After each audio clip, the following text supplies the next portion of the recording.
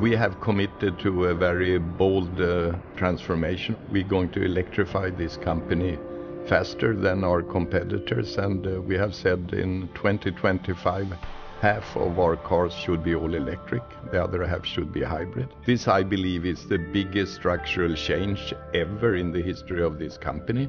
So this new XC40 is a very important milestone for the very first uh, fully electric car. Safety has been at the core of Volvo since we started in 1927. So it's been natural for us to ask ourselves the question, what does safety benchmark look like in a fully electric car? The fully electric XC40 will be one of the safest cars we've ever built. Be it an electric or combustion engine, a Volvo must be safe.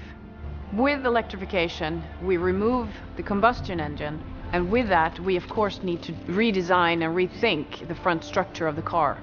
The battery in the fully electric XC40 is integrated in the floor structure of the car. We need to protect the battery and keep you safe.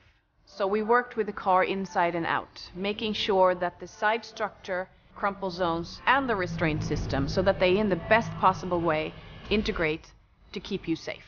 As we do for every Volvo, the fully electric XC40 has been developed with a combination of simulation and physical tests to make sure that we have the, the, safety performance that we want.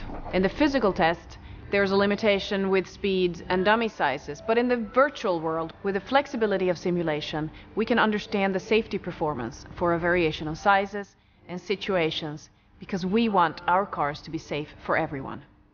Safety is at the core of everything we do since we started in 1927, and we're very proud of our heritage as a safety leader.